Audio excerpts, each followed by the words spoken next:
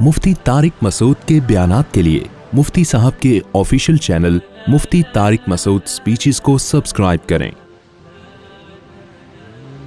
हाँ मैंने बात असल में यहाँ से शुरू की थी कि अल्लाह ताला ने कुरान मजीद में नबी सल्लल्लाहु अलैहि वसल्लम के बारे में फरमाया कि अगर ये हम पे कोई माज अल्लाह गलत बात मंसूब करते तो हम उनको पनपने नहीं देते। तो मैं यहाँ से अर्ज़ किया था मैंने कि जो भी दो नंबर लोग होते हैं ना, अल्लाह उनको पनपने नहीं देता। हाँ जो बेवकूफ़ किस्म के लोग होते हैं, वो उनको फॉलो करना शुरू कर देते हैं। तो किसी भी फ़ील्ड में अक्लमंदों का एतबार होता है, अहमकों और बेवकूफ़ों का एतबार नहीं होता। तो ये जो रूहानी आमिल है ना, जो बड़ी गहरी हिसार और जिन भूत, वो इसकी बातें आ रही थी। तो जिन भूत का हमें, भूत तो नहीं जिन का तो हमें कुरान और सुन्नत से सबूत मिलता है। हम मानेंगे, अल्लाह ने कह दिया। लेकिन उसकी क्या कैफियत होती है, वो काबू में आते हैं, नहीं आते इन चीज़ों का कुरान में कोई तस्करा नहीं है। लिहाजा ये आमिल जो दावा करते हैं, हमने जिन्नात काबू में कर लिए, ये कर लिया वो भाई, ये तुम्हारी अपनी कहानी है। ये हम, ये हमारी खोपड़ी में नहीं आती। मैंने आज तक कोई जिन किसी आमिल के काबू में नहीं देखा अलबत् आमिल जिन्नात के काबू में बहुत देखे मैंने। बहुत देखे कि इस पर जिन आया हुआ होता है, खुद उसको कंट्रोल किया हुआ होता है जिन ने तो ऐसा बहुत होता है, ऐसा नहीं होता कि आमिल जिन्नात को काबू में ले लें। समझते हो नहीं समझते तो इन चीज़ों में पढ़ के तो उनके फॉलोवर्स जो ज़्यादा होते हैं ना तो वो इसलिए कि वो मेंटल लेवल से ऊपर की बातें कर रहे होते हैं। तो दो तरह के लीडर होते हैं या दो तरह के लोग होते हैं जिनको लोग फॉलो करते हैं। एक वो जो मेंटल लेवल के नीचे नीचे की बात करते हैं, उनकी बात आसान होती है दो दो चार की तरह होती है, उनको अक्लमंद लोग फॉलो करते हैं। और जो अजीब सी बातें कर रहे होते हैं, जो आपकी समझ में ही नहीं आ रही होती उनको अहमक और बेवकूफ़ लोग फॉलो करते हैं, लेकिन जो अहमक और बेवकूफ़ की अकीदत है ना, वो पढ़े लिखे की अकीदत नहीं होती। वो फिर ऐसी अकीदत कि आपकी सोच से भी ज़्यादा। वो बहुत ही का हज़रत जी का इर्शाऊ फतनी तो खूब समझ लो, अपनी ज़िंदगी का उसूल बना लो कि जो शख्स भी इलॉजिकल बातें कर रहा है उसके पीछे कभी भी मत चलो। हाँ ये ज़रूर है, किसी के शॉर्ट क्लिप देख के ये अंदाज़ा लगा लेना कि ये इसकी बात इलॉजिकल है। फ़ौर किसी के बारे में फ़ैसला मत करो। बाज़ दफ़ा हमारा कोई क्लिप चल रहा होता है अधूरा क्लिप होता है, लोग कहते हैं मुफ्ती साहब ने इलॉजिकल बात की है। वो जितने आपके इश्काल हैं ना, वो दूसरे बयान में उस तमाम इश्काल के जवाब मौजूद होते हैं। समझते हो? तो सुनना भी उसी को है और अपनी ज़िंदगी का जो लाया है, लाहे अमल है ना वो भी लॉजिक के तहत गुजारना है, खूब समझ लो। देखो, मज़हब की जो तालीमात लॉजिक के मुताबिक हो या ना उनमें तो इस्लाम को मानना है। वो तो अल्लाह मियाँ ने जब कह दिया तो अल्लाह से ज़्यादा कोई जानने वाला नहीं है। उससे ज़्यादा किसी का इल्म नहीं है। लेकिन जहाँ मज़हब की गाइडेंस नहीं है, मज़हब की रहनुमाई नहीं है, वहाँ फिर आपने सौ फ़ीसद अकल को ही इस्तेमाल करना है ताने बाने मिलाने हैं। एक मिसाल देकर बस बयान को ख़त्म करता हूँ। ये मिसाल मैं पहले कई दफ़ा दे चुका हूँ, लेकिन बयान कंप्लीट हो जाएगा उस मुनासबत से। देखो, हमने उलमा से सुना है कि अगर आप शरीयत की मुखालफत करोगे ना, तोबा इस्तफ़ार से वो गुनाह आपका मुआफ़ हो जाएगा। फितरत की मुखालफत करोगे तो जो सज़ा मिलेगी वो तोबा इस्तफ़ार से नहीं टलती।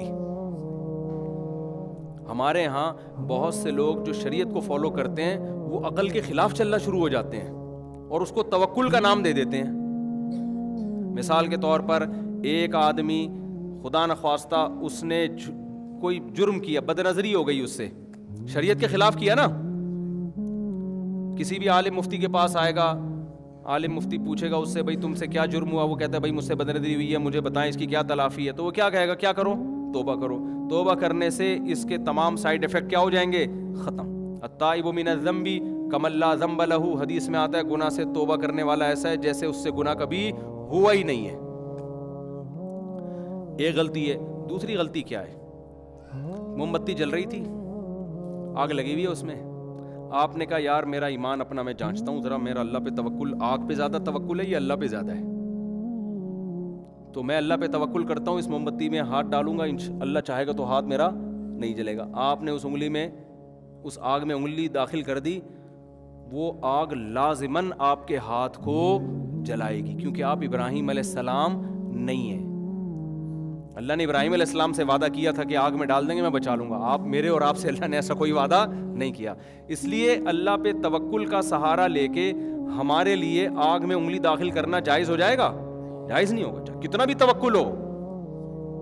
आपने कहा, यार, अल्लाह से होता है। हमारे तबली वाले कहते हैं, बिल्कुल सही कहते हैं कि अल्लाह से होता है, अल्लाह के गैर से नहीं होता। आपने कहा अच्छा अल्लाह से होता है तो मैं अभी बिजली के खंभे में ना, ये ये ये जो है ना, ये आप तक पलक लगाते मैं दो उंगलियाँ डालूँगा और तुम बटन ऑन कर देना। अल्लाह का हुक्म होगा तो करंट लगेगा तो नहीं लगेगा, नहीं हुक्म होगा तो नहीं लगेगा। और मुझे यकीन है कि अल्लाह का हुक्म होगा कि नहीं लगेगा। आपने उंगलियाँ डाली और जैसे ही ऑन होंगे तो आप मरेंगे आपके बचने का एक ही तरीका है कि कोई आपको बचाने की कोशिश करे। आपको अगर जो बचाने की कोशिश करेगा ना तो फिर आप बच जाएँगे, वो क्या हो जाएगा? क्योंकि करंट पार्सल हो जाएगा इधर को। कहते हैं, इसको करंट लगा हुआ उसको अगर खींचो भी ना तो वो बच जाए, आपके मरने के चांसेस बढ़ जाते हैं। तो ये क्या, ये किससे फट्टा कर रहे हो आप? शरीयत से नहीं, किससे? नेचर से। अल्लाह के नेचर के जो उसूल हैं, वो तब्दील नहीं होते। वो तो कभी मोजा हो जाए तो हो जाते हैं, वरना नहीं होते। वो कभी भी तब्दील नहीं होते। अब जनाब आपको लगा पावरफुल किस्म का करंट आप अंदर से आड़े तिरछे हो गए, बिल्कुल। फरमाई आपका, टेढ़ा हो गया। पहचान में ही नहीं आ रहा कि कौन सा बंदा है। या आपने आग में उंगली डाली और वो उंगली आपकी क्या हो गई? जल गई। अब आप आए मुफ्ती साहब के पास। मुफ्ती साहब मुझसे गलती हुई है, मैंने आग में अपने आप को जला दिया है। तो मुफ्ती साहब कहेंगे, तोबा करो भाई। यही कहेंगे ना? तो आप कहेंगे, भाई, तोबा करने से क्या होगा? वो कहेंगे, सिर्फ़ गुनाह माफ़ होगा आपका, कि हमाकत क्यों की? कि भाई, हदीस में तो आता है, जो तोबा करे, वो ऐसे जैसे गुनाह किया ही नहीं। तो मैंने जब आग में उंगली डालने से आइंदा के लिए तोबा कर ली तो मैं तो ऐसे हूँ जैसे गुनाह किया ही नहीं, लिहाजा मेरा जख्म खुद ब खुद ठीक हो जाए। या उंगली जो जल के ख़त्म हो गई, वापस आ जाए, क्योंकि हदीस में आता है, जो गुना करके तोबा करता है, ऐसे जैसे किया ही नहीं। तो ऐसा होना चाहिए जैसे मैंने आग में उंगली डाली ही नहीं तो हो जाएगी उंगली वापस आ जाएगी? नहीं आएगी। कहेंगे, भाई, आपने बगावत किससे की है? फितरत से की आपने, नेचर से लड़े हो आप। समझते हो कि नहीं समझते?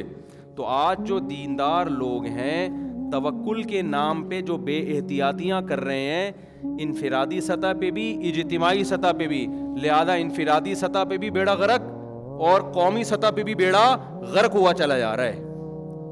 और कहते ही हैं कि हम चूँकि मुसलमान हैं, हमारे साथ अल्लाह है तो अल्लाह की हमारे साथ मदद होगी, हम तरक्की करेंगे। आप तरक्की के अलावा हर किस्म का, आप चार शादियों का ख्वाब देख सकते हो। आप इन हालात में तरक्की का ख्वाब बोलो, नहीं देख खुदा ने आज तक इस कौम की हालत नहीं बदली, न हो जिसको ख्याल आप अपनी हालत के बदलने का। तो वो इसबाब इख्तियार करने पड़ेंगे। खोपड़ी इस्तेमाल करनी पड़ेगी। नहीं अलिल मुनकर में इसबाब इख्तियार करने का हुक्म है जो फ़र्ज़ है। तो उसके बगैर कहा? देखो, नबी ने क्या फरमाया? मर्राम इनको मुनकर अनफल ही बताओ, बुराई को खत्म करना हमारा फ़र्ज़ है या नहीं है? लेकिन नबी ने क्या फरमाया? इतना फ़र्ज़ है जितना अफोर्ड कर सको। होना तो ये चाहिए था, भाई, हक बयान करो, चाहे जो मर्ज़ी हो जाए, कुछ भी हो जाए। जो भी असरात हो। ना ना ना, आपने फरमाया, जो बुराई को हाथ से रोक सकता है तो वो तो हाथ से रोके। जिसमें हाथ से रोकने की ताकत नहीं है, अब फिर हाथ से मत रोके वो। फिर क्या करे? फिर नहीं भाई, फिर तो साइड इफ़ेक्ट क्या होंगे? ज़्यादा होंगे। वही किस्सा हो जाएगा कि भैंस के मुँह में पाइप रखा जमाल गोटा रख के फूक मारी भैंक ने पहले फूक मार दी भैंस ने। तो आपकी ताकत है नहीं, सामने वाला पावरफुल है। आपने उसको बुराई से रोकने की ज़बरदस्ती कोशिश की, जो उसने कोशिश की तो आप सोसाइटी में किसी काबिल रहे नहीं। तभी तो हुक्मरानों के खिलाफ मुसल्ला बगावत से इसी वजह से मना किया जाता है कि आप बुराई को ख़त्म करने के लिए सिस्टम को चेंज करने की कोशिश ज़रूर करो। मगर एक पावरफुल रियासत के खिलाफ जब आप ताकत का इस्तेमाल करोगे तो आप जो फूंक लगाओगे ना वो बर्दाश्त हो जाएगी। हुकूमत ने जो फूंक लगाई ना, उससे आपकी फूंक हमेशा के लिए निकल जाएगी। तमाम फुकाहा लिखते हैं कि मुसल्ला तहरीकों के लिए ज़रूरी है कि इसबाब की दुनिया में ताकत हो। ऐसा नहीं कि आप उठे और एकदम करके यूँ कर दिया आपने। अब देखना पड़ेगा कि आप में कितनी पावर है लड़ने की। नहीं है तो कोई और काम करो। इसको लोग ये ताबीर करते हैं अच्छा इसका मतलब कुछ भी ना करें सिस्टम को तब्दील करने की कोशिश ना करें। हम कहते हैं, भाई, करो, मगर तरीका वो ना हो कि जो रहा सहा है, उससे भी जाओ आप। करो ज़रूर आराम से बैठना कहाँ जायज़ है? लेकिन तरीका वो इस्तेमाल करो, जिस, जिसको आप एफोर्ड कर सकते हो और इसबाब की दुनिया में उससे कुछ उम्मीद भी हो। आज किसी ने तंज किया तबलीग वालों पर ना, कि तबलीग वाले निज़ाम की तब्दीली की बात करते नहीं हैं और ज़ाती तजकिए में लगे हुए हैं लोगों की। यानी लोगों की इसलाह में लगे हुए सिस्टम की तब्दीली की बात करते नहीं है। किसी ने यूट्यूब पे ना कमेंट्स किए हुए थे कि ये लोग जो है ना निज़ाम की तब्दीली की, निज़ाम की तब्दीली के लिए अफराद तैयार करना ज़रूरी है या नहीं है? यानी हर आदमी जिसको जिधर ठरक निकालनी होती है ना, और ये जो बातें इस तरह की कर रहे होते हैं ना, ये ना निज़ाम की तब्दीली की कोशिश कर रहे होते हैं, ना अफराद पे मेहनत कर रहे होते हैं। ये सिर्फ़ यूट्यूब पे बैठ के कमेंट्स कर रहे होते हैं। कि फला ये नहीं कर रहा, फला ये नहीं कर रहा, फला वो। भाई, अगर वो एक काम कर रहे तो दूसरा काम कर लो। जब निज़ाम तब्दील किसी भी सतह पे होगा तो बंदे भी तो चाहिए होंगे ना। तो बंदे तैयार करना भी निज़ाम की तब्दीली की एक बहुत बड़ी सीढ़ी है। तो जिसको भी, जिसको जहाँ ठरक निकाल और अक्सर ऐसी नेगेटिव बातें वो लोग कर रहे होते हैं जो हकीकत में सिर्फ़ निज़ाम तब्दीली की बातें ही कर रहे होते हैं और बातें करने पर गवर्नमेंट की तरफ़ से कोई पाबंदी नहीं है। प्रैक्टिकल लाइफ में वो ज़ीरो होते हैं। फेंक रहे होते हैं, यूँ होना चाहिए, यूँ होना चाहिए, ऐसे होना चाहिए, वैसे होना चाहिए। हमारे एक दोस्त है, वो जब भी कोई तहकीकी मसला उनके पास जाता है, वो कहते हैं, इसका इसका पे रिसर्च होनी चाहिए। मैं उनको भेजता कि, भाई रिसर्च कर लो यार। कह रहे, इस पे होनी चाहिए। मैंने कहा, वो तो मुझे भी पता है, होनी चाहिए तो करो ना। आपको भेजा इसलिए मैंने। एक दिन उनको गुस्सा आ गया, भाई, क्या मैंने कहा तो चाहिए चाहिए तो मुझे भी पता है कि इस पे रिसर्च होनी चाहिए। आपको तो मैंने भेजा इसलिए कि आप कर लो इस पे, मुझे बता देना। बाज दफ़ा मेरे पास कोई भेज रहे होते हैं कि आप इसकी तहकीक करो। मैं जवाब में लिखूं, इस पे तहकीक होनी चाहिए। तो कहेगा तो हमें पता चाहिए तो करो ना। तो फिर मैं अगर तहकीक करता हूँ तो खुश होते हैं, नहीं करता तो बोलेंगे, यार, क्यों क्यों नहीं कर रहे? तो चाहिए चाहिए का लफ्ज मार्केट में इसका मंजन बहुत बिकता है। ये भी होना चाहिए, वो भी होना चाहिए। जो करने वाले लोग हैं, वो चाहिए चाहिए की बहस में नहीं पड़ते। वो गौर और फ़िक्र करते हैं कि पाकिस्तान में निज़ाम तब्दील होना चाहिए पहले से हमें पता है होना चाहिए। वो इसके तरीकों पे गौर कर रहे होते हैं कि कैसे सिस्टम चेंज हो सकता है। ब्यूरोक्रेसी में कैसे तब्दीली आ सकती है, फौज में कैसे अच्छे लोग ऊपर जा सकते हैं, स्कूलिंग सिस्टम हो, वो तो हर आदमी का अपना तरीका है, तबलीग वालों का अपना तरीका है। भाई, बजाय इसके कि नीचे से लोग भेजो, ऊपर से फौजियों को ही चेंज कर दो। अब फौज में, ठीक है, बहुत सारी बुराइयाँ हैं, लेकिन बहुत सारी अच्छाइयों में नब्बे फ़ीसद दखल तबलीग जमात का है। बस अभी खत्म कर रहा हूँ। फौज में आपको कोई ब्रिगेडियर, कोई कर्नल, इतनी बड़ी बड़ी दाढ़ियों वाले, मज़हब की पाबंदी वाले मिलेंगे। मैं नहीं कह रहा सारे तबलीग से मुतासर हैं। एक बहुत बड़ा तबका किससे मुतासर है? तबलीग से। तो फौज में कितनी बड़ी तब्दीली कर दी? वो कह रहे निज़ाम में तब्दीली नहीं ला रहे अबे भाई, फौज में इतनी बड़ी दाढ़ियों वाले, वरना अगर तबलीग जमात ना होती, हमारी आर्मी इस बात का बहुत ज़्यादा इम्कान था कि वो नब्बे फ़ीसद सेकुलर लोगों के हाथ में होती। अभी एक कर्नल मुझे मुझे मिले। रिटायर हो गए वो। तबलीग में ना टोपी पहन के गश्त करते फिर रहे। हैं मैंने कहा, हज़रत, वो वो रिटायर तो अभी हुए हैं ना, वो तो ड्यूटी के दौरान भी। कहते हैं, यार, हमने सारी ज़िंदगी सलूट, लोग हमें मारते थे, हम इसको इज़्ज़त समझते थे कि लोग हमें इज़्ज़त दे रहे हैं, सलूट कर रहे हैं। हमें पता चला इज़्ज़त तो की कौन सी है? आखिरत की। तो मैंने कहा, मैं इनको समझाऊं, वो जो ज़िंदगी में आपको, वो मसाला ज़्यादा लग गया ना उन कर्नल साहब पे? मैंने कहा, हज़रत, वो जो आपको लोग सलूट करते थे, वो भी दीन का हिस्सा था। एक इस एक कंट्री है, उसमें अगर फौज के मातहत आदमी अपने अपने जो है ना ऑफिसर को सल्यूट नहीं करेगा तो ये निज़ाम कैसे चलेगा? उसको भी मज़हब का हिस्सा समझो ना बाज़ लोगों पे मसाला क्या लग जाता है? जौनपुर के काजी बन जाते हैं वो। तो वो उसको गलत समझ रहे हैं कि जो मुझे सलूट मारा करते हैं, मैंने कहा, ये थोड़ा ज़्यादा हो गया, इसको थोड़ा सा क्या कर लें? ये तो सिस्टम है, ये तो सिस्टम का हिस्सा है। और इस पर तो अल्लाह का शुक्र अदा करें, अल्लाह ने आपको इज़्ज़त दी है कि मातहत लोग आपको सल्यूट कर रहे हैं। हाँ तकबर ना करें इंसान। तो हर आदमी जो भी पॉजिटिव काम कर रहा है, उसको प्रोमोट करो। तबलीग का बहुत बड़ा काम है। तो बहुत ज़्यादा अल्लाह ने काम लिया फौज में और ब्यूरोक्रेसी में जजेस हैं बहुत सारे, जो लगे जमातों में। हाँ जो काम नहीं, जो जो शोभा खाली है, उस पर आप मेहनत करो ना। उस पर क्या करो? उस पर आप मेहनत करो। अफराद ही ठीक नहीं होंगे तो वो सिस्टम तब्दीली की बात भी उनकी खोपड़ी में नहीं आएगी। वो कहेगा, अबे, मज़े उड़ा, ये क्या सिस्टम इस्लामी सल्तनत, इस्लामी रियासत, ये सब फजूल माजल्ला फजूल बातें। तो मस्जिदें आबाद होती हैं और लोगों में एक शूर पैदा होता है तो लोग ही तो फिर आगे पैगंबर थोड़ी आएँगे दोबारा कोई तो लोग ही मुसलमान ही सारे काम करेंगे। तो इसलिए मैं क्या अर्ज़ कर रहा था, बस बात को एक जुमले में अब सेंटेंस में ख़त्म करता हूँ कि इलॉजिकल काम आपको करने की इजाज़त नहीं है, अल्लाह पे तवक्ल का लेबल लगा के। तो जब नहीं अनिल मुनकर में नहीं है, उसमें नबी ने फरमाया, अपनी इस्तात देखो। इस्तात है तो ठीक है, नहीं है तो जबान पे आ जाओ। फमल्लम या सतह फ़बी लिसानी ज़बान से कहने पर इक्तफ़ा करो। और अगर उसकी भी ताकत नहीं है, फ़बी कल्बी ही तो बिकल्बी का मतलब ये नहीं कि दिल में, दिल से बुरा समझो। बिकल्बी का मतलब दिल से तब्दील करो। दिल से तब्दील का मतलब दिल में ये नीयत कर रखो कि अल्लाह अभी तो मैं बोल भी नहीं सकता।